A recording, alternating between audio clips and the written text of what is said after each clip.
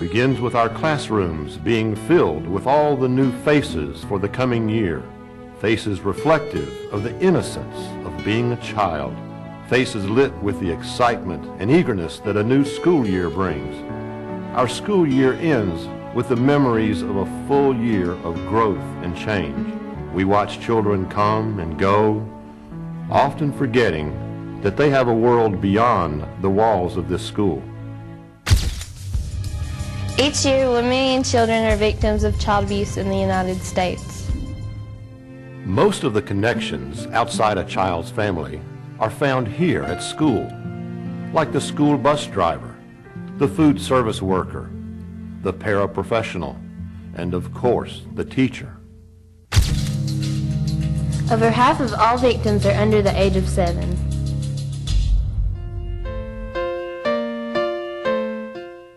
In the world of children, things of importance take on a whole new meaning with different priorities. It's important to have someone to hold you when you are scared, someone to smile at you when you've done something special, someone to hug you when you are feeling bad, and to encourage you when things are difficult. Sometimes a child's world gets shattered by the very people the child looks to most for love and trust, the adults in their lives.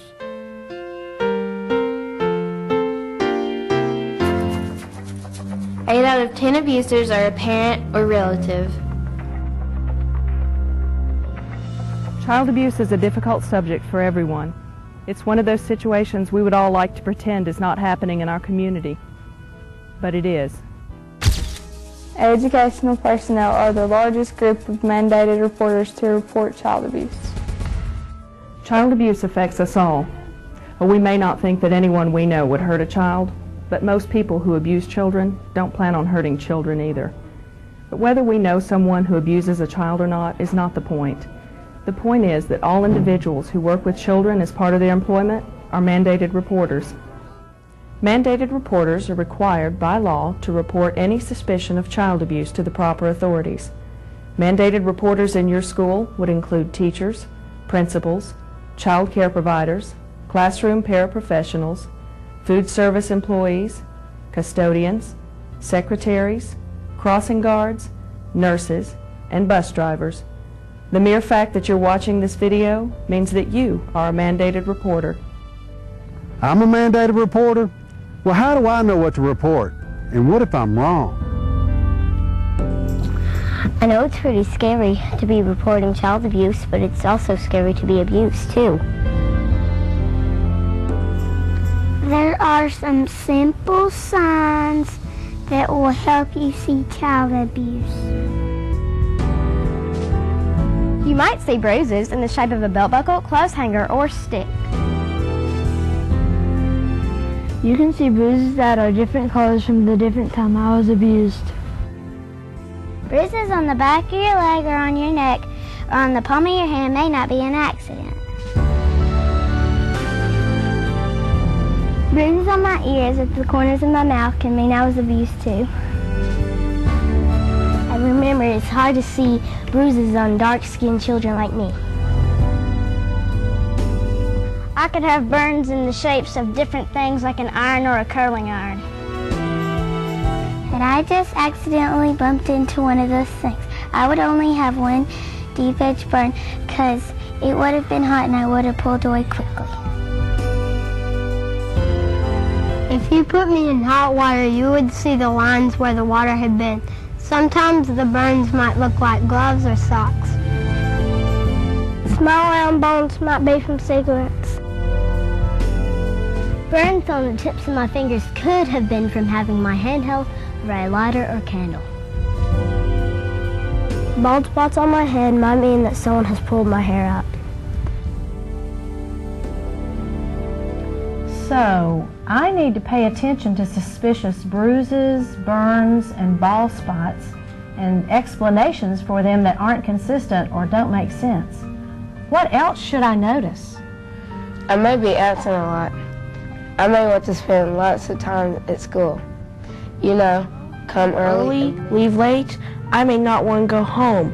how I act might tell you that something is wrong. I will probably be real afraid to make a mistake. mistake. If I do make a mistake, I will freeze and I might act, act different a lot. You know, real quiet one minute, then real loud the next. Sometimes I won't like myself. I may be real sad and get hopeless. I may have a hard time believing that my life will, will ever, ever get better. In fact, my future doesn't look that bright. I am more likely to drop out of school, become a teenage parent, and hurt my own children or, or hurt others. As I get older, I may use drugs and think more and more about suicide. I may even end up in prison. 90% of adult prisoners report being abused as children. Wow, that's a lot to remember. That's only physical abuse. There are other kinds of abuse you have to be on the lookout for, too. You're right. There are other types of abuse. Children can also be abused emotionally. Emotional abuse occurs when a parent's interaction consistently undermines or destroys a child's sense of self-worth. For example, some parents never praise the efforts of their children and always call them names like dummy or stupid or idiot. Reporting is not about getting anyone into trouble. Reporting is about getting families the help that they need. All parents get mad and upset with their children. Emotional abuse is a pattern of behaviors and usually is present in all types of abuse. In addition to calling the child names, a parent tells the child on a regular basis things like, I wish you had never been born. If you just behave, I wouldn't have to drink. You're the most ungrateful child. Also, children that are ignored by their families are being emotionally abused. It's hard to feel good about yourself when no one acts like you're even there. Emotional abuse includes verbal abuse, rejecting a child, unrealistic expectations, and shameful forms of punishment. You need to be aware of some of the typical behaviors in emotionally abused children. Behaviors such as rocking, sucking, biting, and head banging. Other results of emotional abuse may be sleep problems, tics, compulsions, and phobias. Also, speech disorders, lags in physical development, and a failure to thrive could all be signs of emotional abuse in children. Emotional abuse is the most difficult type of abuse to treat, and it has the longest lasting negative impact upon a child's physical and mental well-being. What about sexual abuse? Sexual abuse is the use of a child any age, my age or his age, for sexual pleasure. Children may also sexually abuse other children. Most child sexual abuse is not reported. Sexual abuse is the most underreported form of abuse because it is so secretive. It's hard to detect and very difficult for victims to report. Therefore, mandated reporters must know the warning signs. Before their 16th birthday, approximately one in four girls and one in six boys are sexually abused.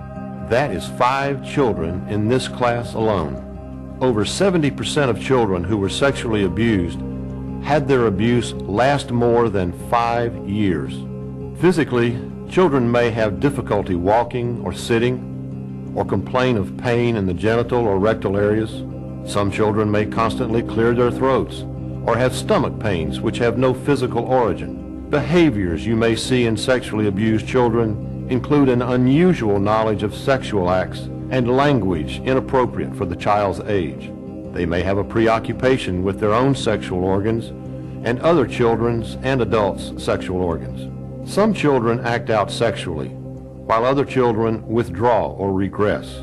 You may notice that they have suddenly developed an intense fear or dislike for a particular person. Sexually abused children are sometimes unwilling to participate in phys ed classes. The children will dress in layers and their hygiene sometimes suffers. Neglect is the most common form of child abuse and the leading cause of child death from abuse. Child neglect can be thought of as a failure of parents or caregivers to adequately provide for a child's emotional, physical, intellectual, and social well-being. That would include a failure to attend school. Neglect is a pattern of behaviors, and it occurs in all socioeconomic levels. However, it is true that poverty can be a contributing factor. You may see parents who don't provide adequate supervision due to problems or misplaced priorities. Parents with addictions may not be able to care for their children. Neglected children may also have untreated illnesses and disabilities. Being poor is not the same as being neglected or abused. I often see children coming to school, either they're dirty or they're not dressed for the weather. Is that neglect? Is that neglect? What about kids that are always asking for food or lunch money? That's neglect when I always come to school hungry. What are some other signs of neglect I need to be aware of? Homes with excessive garbage, vicious animals, or access to weapons may indicate signs of neglect. But it's not always the outside. I know a girl who's an anorexic, and her parents won't take her to the doctor. It may also be a home with domestic violence between adults and may cause a threat to the child. It could also be a home where parents use and make drugs. Often in the case of neglect, parents are just lacking in resources or knowledge or have a substance abuse problem. With appropriate treatment and services, these families can be helped to better care for their children. But it's up to you, the mandated reporter, to report to your school social worker or school counselor so that they can be helped. Thank you. There's just so much information to remember. Well, you know, you don't have to remember it all. Our school system has a policy that explains everything in great detail. And every school has a designated reporter.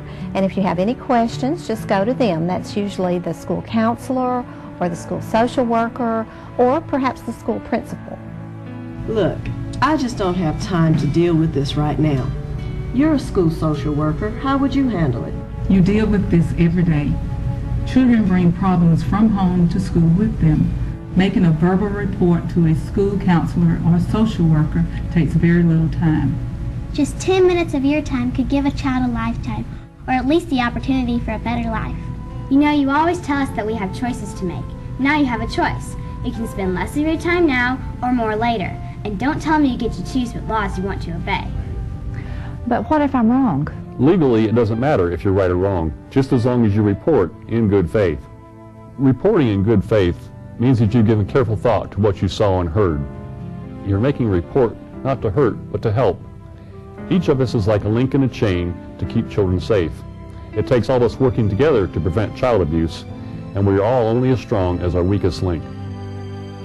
Experts agree that most child abuse still goes unreported. Why aren't you reporting? Please report. Please report. Please report. Please report. You can make a difference.